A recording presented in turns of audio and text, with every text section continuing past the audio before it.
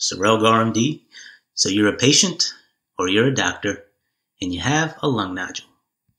What is the probability that that lung nodule represents cancer? That is the question, is it not? What if there was a tool that could help me figure out if a lung nodule was benign or malignant?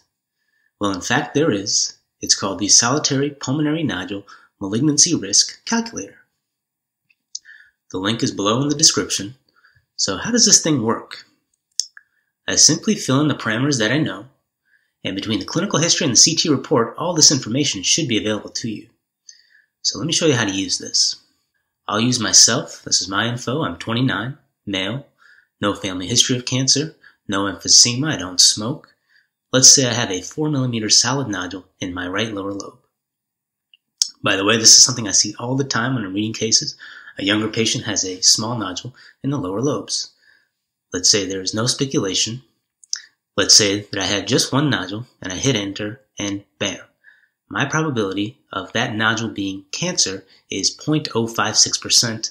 Said another way, there's a 5 out of 10,000 chance that that 4 millimeter nodule is cancer.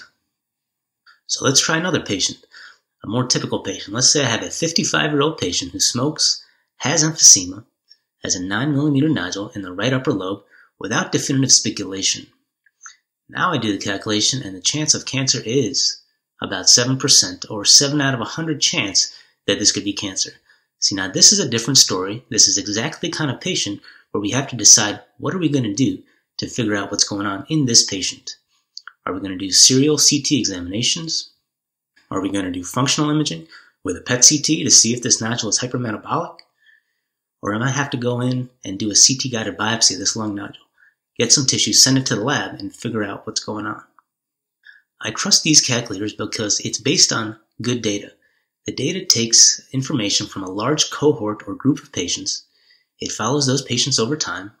It figures out who has lung nodules, and of the people that have lung nodules, it figured out which ones were benign and which ones were malignant. So it extrapolated that data, it fit it into a mathematical curve that could explain that data, and then took that data and applied it forward. Simply put, it's using the past to predict the future. That is how these calculators work. That's it for this segment. The next segment, I'm going to talk about what are the next steps in evaluation of a lung nodule which has a reasonable chance of cancer, say 5 to 10%. You're watching Sarel Gaur MD.